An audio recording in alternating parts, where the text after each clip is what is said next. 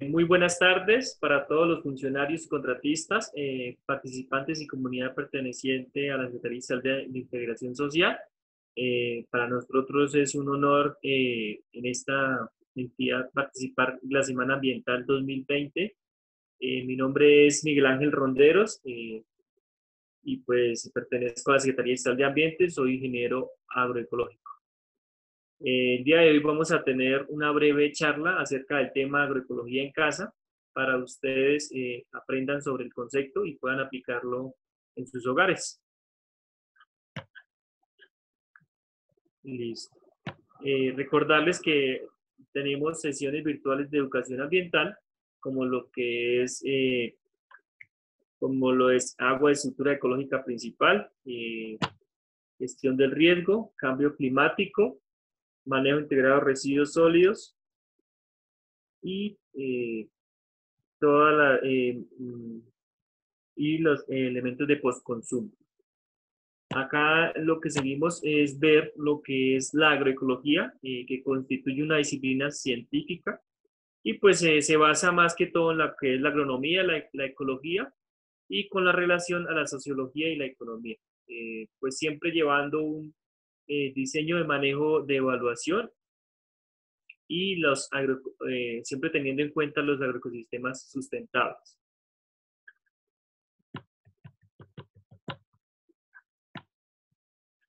Eh, con respecto a la historia de la agroecología, pues los conocimientos y las prácticas se basan más que todo en lo que es los indígenas y los campesinos en Mesoamérica, eh, prácticamente Mesoamérica consta de lo que es parte baja de México, lo que es Nicaragua, eh, Honduras, toda esta parte de Centroamérica. Eso refiere a los raíces de la agroecología en América Latina. En la década de los 70 y 80, pues eh, en Tabasco, México, estaba Steven Glisman y pues él acogió esto de la agricultura agroecológica en el, en el Colegio Superior de Agricultura Tropical.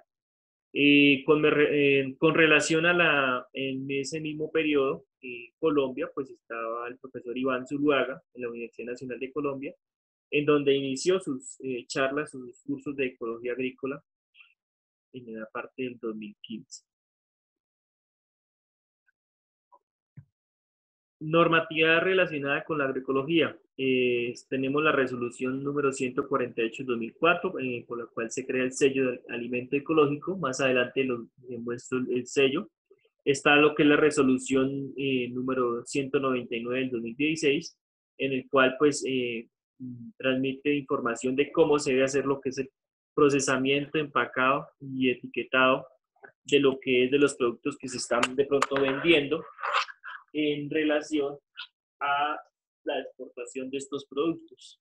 Entonces es importante tener esta normatividad, eh, estar pendiente de ella. Estas eh, son realizadas por el Ministerio de Agricultura. ¿Cuáles son los beneficios de realizar agroecología en casa? Eh, en primer lugar, pues producimos nuestros propios alimentos y pues ve, como podemos ver, no les estamos pues, aplicando eh, ningún producto químico.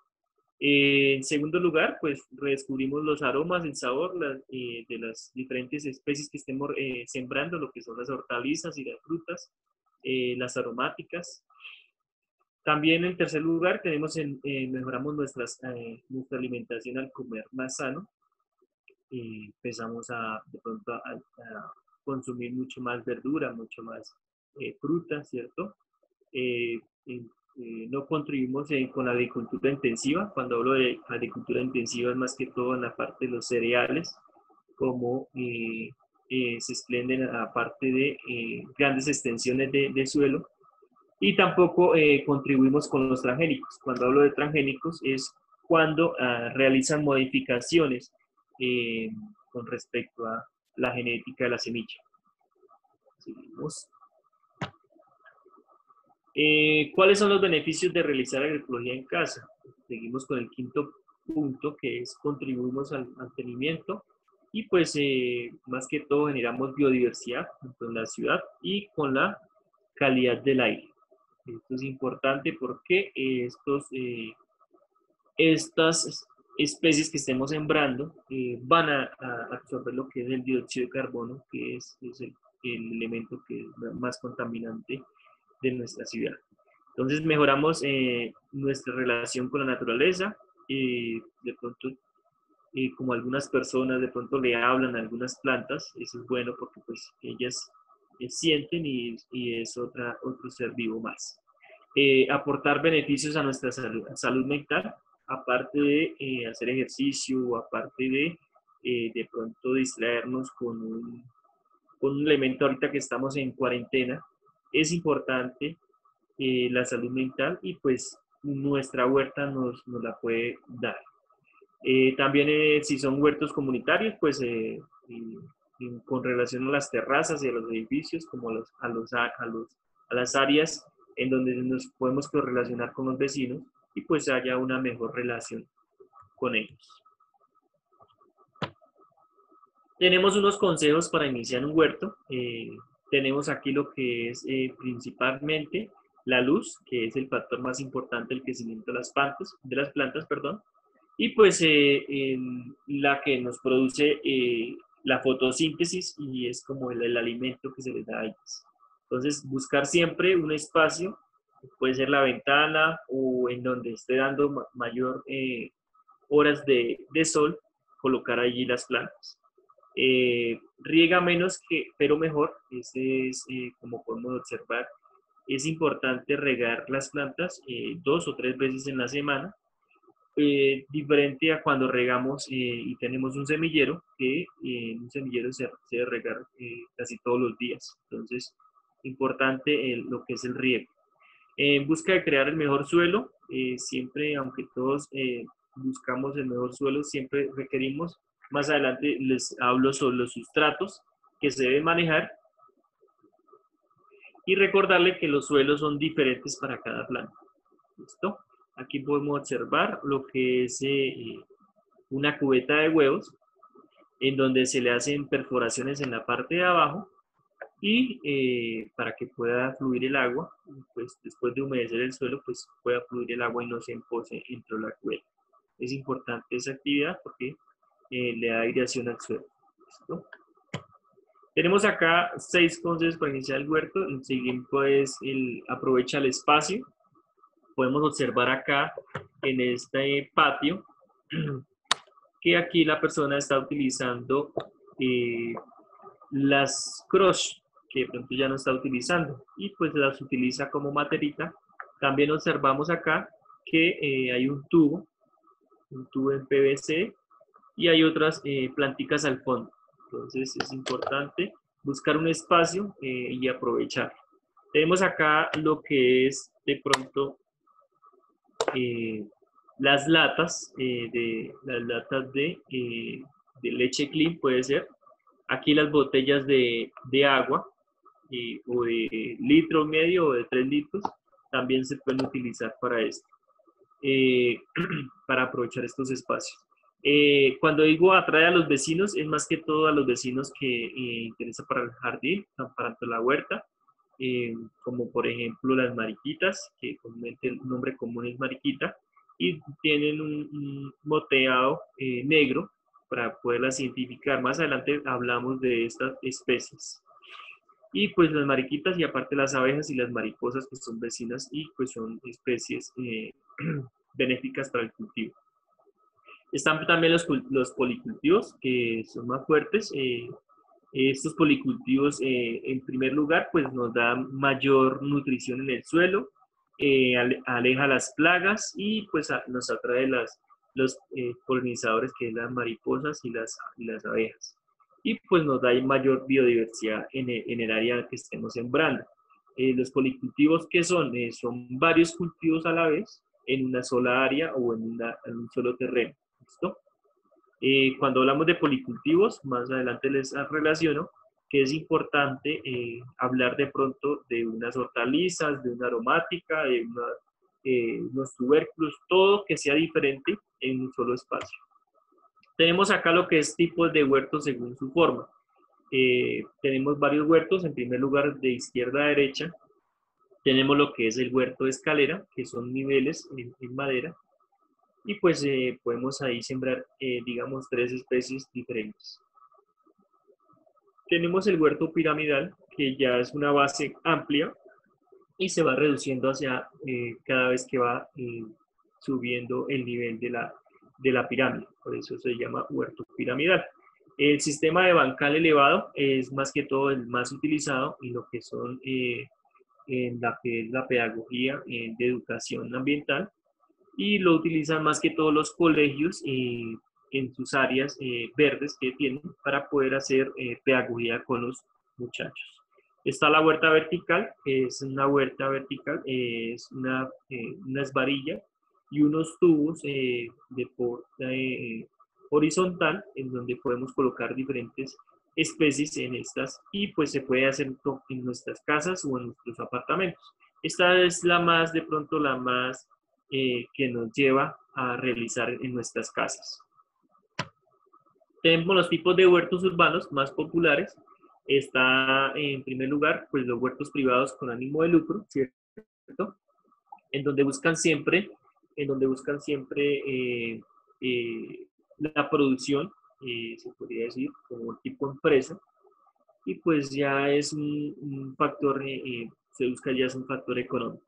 Están los huertos caseros o domésticos, que es los que vamos a, realizar nuestras casas, ahí estamos todos incluidos, ¿cierto?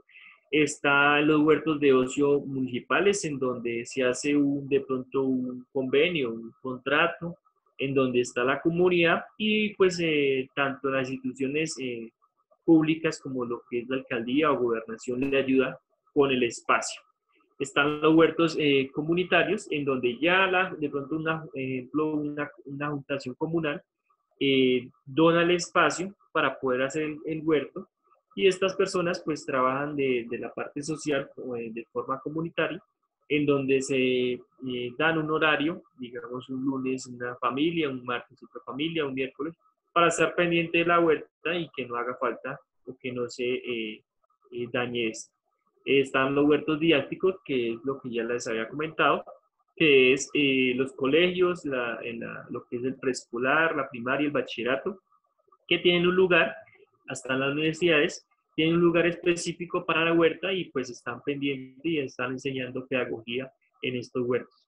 Están los huertos terapéuticos, que es más que todo, eh, esto es, es, tenido en cuenta por los terapeutas, eh, en donde el trabajo de, horticultura y jardinería eh, supone eh, como una alternativa de ocio y recuperación para todo tipo de pacientes y colectivos vulnerables. Eh, más que todo para promueven su bienestar físico y psicológico. Están las huertas como herramienta estética u atractivo turístico, que esto ya es, se ve por dos ejes, que es el primero, que es la producción de alimentos, y el segundo, pues que mejora la crítica del entorno. Aquí podemos observar de pronto, ¿cierto? una biblioteca, en esta parte podemos ver una biblioteca, un pasillo una biblioteca, en donde aprovechan ese espacio para poder realizar los huertos. Y aquí tenemos ya los que es un huerto vertical que utilizan para eh, mejorar las zonas verdes y se vea como más ecológico eh, el aire. Seguimos acá con tipos de huertos según las técnicas utilizadas. Eh, están los huertos de cultivo según la agricultura tradicional, en donde no hay reparos en el uso de fertilizantes químicos o insecticidas. Entonces, por eso estamos con las Secretaría de Ambiente, cambiando este tipo de agricultura y fomentar la sostenibilidad del planeta y pues eh, en base a lo que es eh, eh, la protección del ambiente y pues dar salud gracias a la agroecología. está en segundo lugar lo que son los huertos que siguen técnicas agroecológicas, que es lo que vamos a hacer de aquí en adelante. Desde ya les voy a colocar una tareita a cada uno de ustedes que están escuchándome y están viendo la presentación, de empezar a hacer de pronto empezar con una semillita, digamos, puede ser lo más que utilizamos a diario, los que nos gusta la changuita, ¿cierto? Eh, podemos sembrar lo que es el cilantro. Entonces, un espacio pequeñito, empezamos a comprar las semillas de cilantro y empezamos a estar pendiente de nuestra huerta. Pues si va a sembrar más, pues vas buscando de pronto más eh, medios para poder sembrar más especies. En lo que es el, el segunda técnicas agroecológicas está lo que en relación a, lo que es la agricultura regenerativa. Estas son líneas, líneas de agroecología. La permacultura, la agricultura biodinámica y la agricultura natural. Seguimos acá, ¿qué tipos de huertos según el riego? Eh, está lo que es el riego manual, que es el que vamos a realizar nosotros, ¿cierto? Eh, con una regadera y pues buscamos también eh, de pronto la posibilidad de una manguera. Claro que si tenemos el huerto pequeñito, pues no hay necesidad de, de pronto de manguera solamente con la regadera. Y pues se va a regar lo que son las cubetas que vamos a utilizar en primer lugar para poder luego, vamos a, a resembrar de pronto en otro lugar, se saca de la cubeta y se siembra en, otra, en, en otro lugar mucho más amplio. ¿Listo? Tenemos el riego automático, que es el riego por microaspersión, riegos por goteo, riego por eh, cinta exudante, que es una manguera o cinta que se deja con varios huequitos y ahí mismo hago, eh, goteando para eh, cultivo. Pero estos ya son riegos automáticos, eso ya es para huertas mucho más grandes. Eh, ¿Cuál es el mejor sustrato para el huerto? Eh, se habla mucho de la turba, que es el sustrato universal, y pues eh, como sustrato inorgánico, la perlita o la vermiculita. Y pues estas aumentan la porosidad dentro del suelo. también está, está este que recomiendo, es el recomiendo el siguiente sustrato, que son cuatro partes de sustrato común, buena calidad, puede ser eh, suelos eh, limosos, que son suelos negros, esos son los suelos limosos, porque pues, nosotros comúnmente le decimos, no, es que el suelo está negro y está bueno, no, es, son suelos limosos, ¿listo? Eh, tenemos dos partes de compost y una parte de arena agrícola. O también podemos hacer lo que es, digamos, tres partes de arena, una, una parte de cascarilla de arroz, que puede reemplazar el compost, y una de arena agrícola. ¿listo? Que son como las dos bases que se pueden tener en nuestros suelos. Y pues estas se mezclan y se hacen como sustrato para el suelo. Tenemos ejemplos de sustratos para huertas, eh, también lo que son las siguientes mezclas, el compost y fibra de coco, la turba y perlita, estiércol y río, eh, arena de río, perdón, humus de lombriz, perlita y vermiculita, eh, los que tengan de pronto más eh, espacio en sus casas, podemos hacer el humus de lombriz, que este eh, es como el, como el estiércol que bota la lombriz, pero ese es un abono súper, súper excelente para nuestras plantas. Está la turba y la vermiculita y el, el pues estos son los, los sustratos que se pueden relacionar. Tenemos ejemplos de sustratos para huertas, eh, están los orgánicos, los inorgánicos. Eh, en los orgánicos está la turba, el estiércol, el compost, humos de lombriz, eh, corteza de pino, fibra de coco, cascarilla de arroz. Es importante la cascarilla de arroz porque nos da silicio, nos da uno de los elementos importantes en nuestra, en nuestra planta. recordarles que en lo que es de pronto en lo que es de pronto eh, los fertilizantes o los abonos orgánicos que nos pueden dar. Eh, recordar que los, nutrientes de, mayores son el potasio, el fósforo y el nitrógeno. Están los nutrientes secundarios, que es el calcio, el magnesio y el azufre. Y están los nutrientes menores, que ya es boro, cloro, cobre, hierro, magnesio y molibdeno. Eh, siempre buscar en su mayoría los elementos mayores porque la planta lo consume en un 65%. Eh, entre los insectos benéficos de, nuestro huerto eh, está lo que es la mariquita. Esta especie, la mayoría de las veces las personas buscan de pronto una especie entre las plantas y por equivocación pues matan las especies benéficas. Entonces, así como tenemos insectos buenos, tenemos también insectos malos. La pregunta es, ¿conocemos los insectos benéficos? Pues la verdad, yo creo que la mayoría de las personas no conocen ese, este, este concepto. Y existen dos tipos de insectos benéficos, los que ayudan a controlar las plagas y los que ayudan a mejorar nuestro huerto. ¿Listo? Entonces, eh, tenemos acá lo que son las mariquitas, que hay más de 4.000 especies de esta, de esta especie. El tamaño es de 1 a de 0.1 a 1 centímetro eh, la más común es la catarna de los siete puntos, la que podemos ver ahí en estos momentos.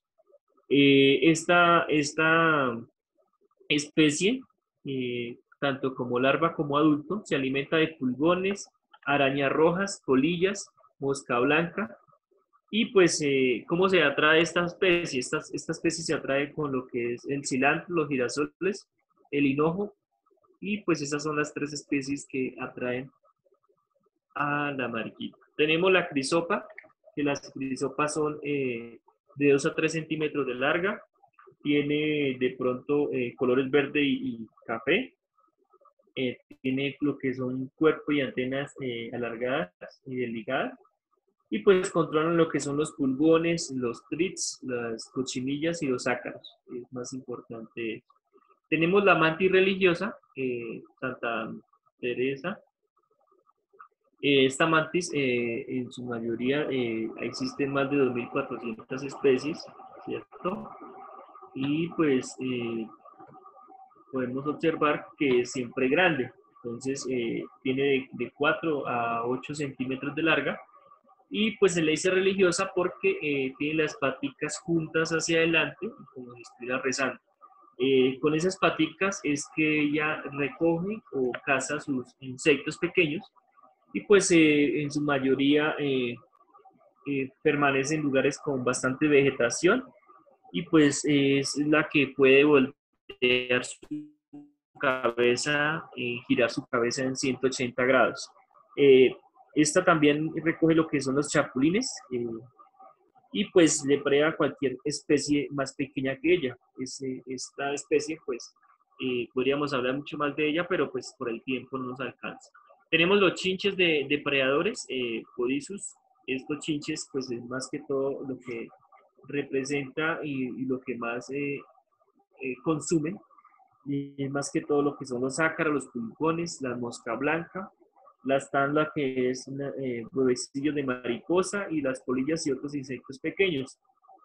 Están lo que son los eh, chinches depredadores, están el, lo que es el, el Podisus sp y el Orius sp. Son las dos especies que eh, se correlacionan en, lo que es las huertas. Eh, lo que es el, se alimenta de larvas y más que todo los huevecillos de distintas plagas y mide solamente un centímetro. Tenemos acá lo que es insectos eh, polinizadores, lo que es las mariposas, las abejas, ¿cierto? Y pues eh, recordarle que las abejas son las eh, melíferas, las que producen miel. en su mayoría, pues estos insectos ayudan a, preservar la biodiversidad. son los insectos más polinizadores, más que todo son las abejas. Y las abejas colombianas se africanizaron, según un estudio de la Universidad Nacional, en donde debido a cruces naturales ocurridos con otras especies, pues estas eh, se africanizaron.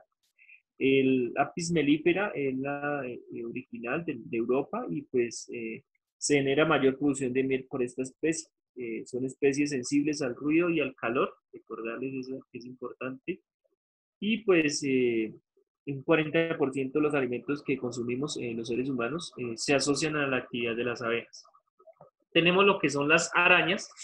Eh, las arañas eh, pues eh, también tienen un control biológico, controlan lo que son chapulines, los antrópodos, las telarañas y pues estas arañas con las telarañas atrapan sus insectos y es un medio de control. Y están los escarabajos depredadores, son de pronto especies que se, se alimentan, son de eh, color naranja y pues se alimentan más que todo de los pulgones, de la mosca blanca, de ácaros y de mariposas. Eh, seguimos por acá.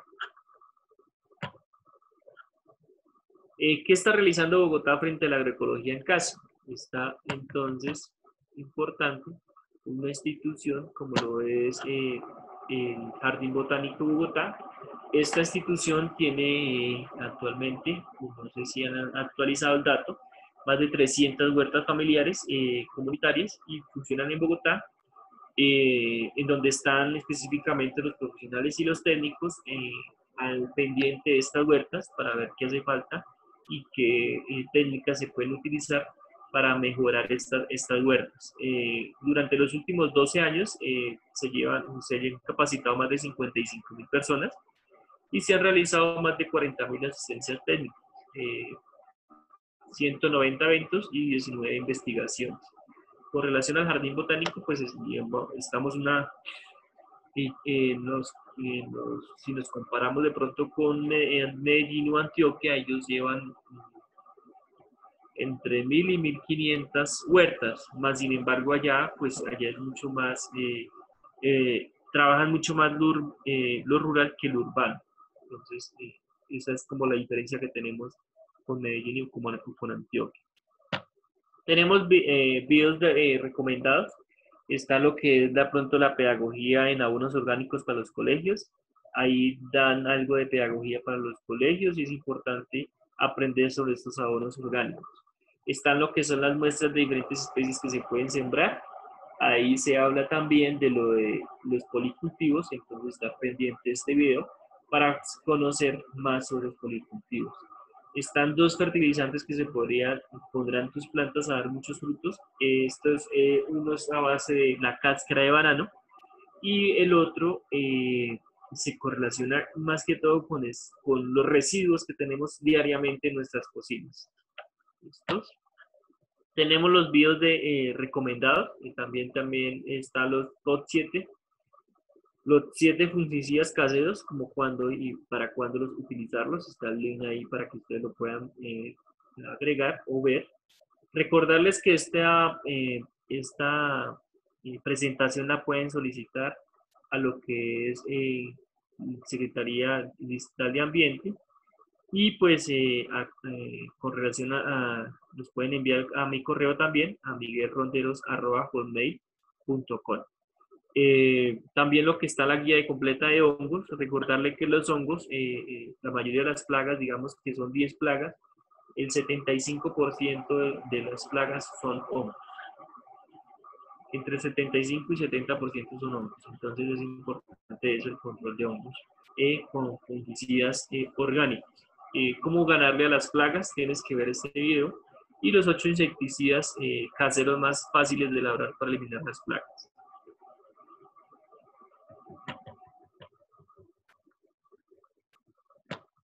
Eh, el otro elemento es cómo funciona la certificación orgánica en Colombia. de acuerdo al Ministerio de Agricultura y Desarrollo Rural de Colombia, tenemos un propio sello de certificación y se llama el alimento ecológico. Este es el sello en donde encontramos en la imagen tres personas abrazando como un ecosistema. Entonces, es el sello ecológico que tenemos, en donde tenemos también mm, cuatro empresas que certifican o que dan este sello. En primer lugar está el BCS OQ Garantis Colombia SAS, que es la certificador de, que inició la certificación de café orgánico en Colombia pues gracias a esta empresa pues están certificando todos los cafés que estamos exportando a lo que es eh, eh, los Países Bajos, que es Holanda, Noruega, toda esta parte de los Países Bajos y donde se envía todo este café. Está a Coser Colombia Limitada, eh, tenemos a Ceres Colombia SAS, certificadora de estándares orgánicos y ambientales, y está la única empresa colombiana, que es la certificadora biotrópico SAS. Y pues eh, estas cuatro son las empresas que se, eh, que se relacionan con, con la parte de certificación de alimentos productos. Eh, datos importantes que debemos de tener en cuenta. hace más de 20 años estábamos sembrando mm, por ahí como unos 7.300.000 hectáreas eh, de cultivos. Actualmente hemos bajado a eh, 5.300.000, hemos bajado más de, 2 millones. Más sin embargo, estas millones, 5 millones 300, eh, solamente estamos en cultivos orgánicos, el 1% que cuenta a 53 mil hectáreas. Eh, entonces debemos, es importante empezar a producir mayor mayor, mayores cultivos orgánicos eh, con relación a este, a este tema. Eh, en donde exportamos, el, abastecimiento que exportamos de alimentos eh, se van más que todo a lo que es Estados Unidos, Canadá y Europa. Eh, los productos más exportados son el café, la panela, frutas eh, deshidratadas, cacao, hierbas aromáticas, azúcar, palmito y aceite de palma. Estos son pues eh, datos de la Federación de Orgánicos de Colombia. Seguimos por acá con respecto a lo que es la captación de carbono. pues tenemos que estamos al año captando 21.2 toneladas por hectárea de dióxido de carbono eh, gracias a, estos cultivos, eh, pues está eh, absorbiendo este dióxido de carbono y pues es benéfico para el ambiente y para la biodiversidad. Y otro dato interesante es que las cuatro empresas que les mostré ahorita en la anterior presentación, pues han certificado con relación al Ministerio de Agricultura, cuentan solamente con 137 empresas que ya tienen el sello ecológico colombiano. No sé si de pronto a, 2017 en adelante, de pronto se han certificado muchas más empresas. Recordarles que para nosotros es importante eh, que ustedes llenen lo que es la encuesta sobre agroecología en casa, porque pues nos da eh, una correlación de que se está entendiendo el tema y que lo, lo estamos llevando bien eh, con la Secretaría de de Ambiente y con la OP, la Oficina de Participación, Educación y Localidades. También tenemos la encuesta de percepción, que es, mm, que es la que nos evalúa a nosotros como profesionales en el, en el tema de la charla, de que nos pueden dar de pronto felicitaciones, eh, éxitos, de pronto nos pueden decir muchas gracias y pues todo lo positivo que nos puedan dar ustedes en el comentario de la encuesta de percepción y pues cualquier observación también será bienvenida. Tenemos acá el mensaje que es eh, un mensaje que les dejo a ustedes, los que nos están escuchando y los que nos están eh, observando. El mayor cambio que necesitamos hacer es del consumo a la producción, aunque a pequeñas y en nuestros propios jardines. Si tan solo el 10% de nosotros hiciese esto, habría suficiente para todos. Bill Mollis.